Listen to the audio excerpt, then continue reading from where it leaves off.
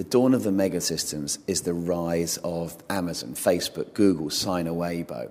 These huge megasystems, these corporations of today and tomorrow who are making consumers' lives so much easier. It's where we, it's where we socialize, it's where we shop, it's where we meet the person that we'll spend the rest of our lives with. It's, it's where we keep up with old friends.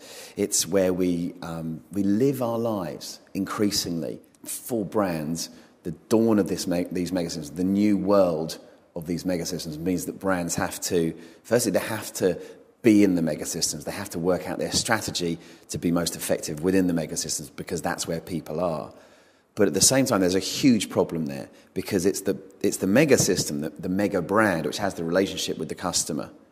And what they have done is effectively commoditized everybody else's offering. If you think about information, for example, you don't go to necessarily the BBC or the New York Times now. You go to Google and look for something, and you might then go to the BBC or the New York Times, but they are less important to you than Google. The same with Amazon. Instead of necessarily going direct to a, a, retailer, you go to this huge e-tailer and then go to the person that has the best offer for you. So there's a real challenge to maintain brand and therefore connection with consumer.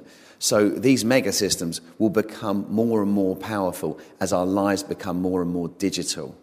The opportunity for them in the future is really powerful. And because through their fantastically clever algorithms, and using today's best data scientists who, instead of spending their time on working out how we can get to the moon, are spending their time working out what we will be doing next and therefore making life so much easier for us. We, as people, will spend more time within these megasystems. They will become more powerful. This is the challenge of the era of the megasystems.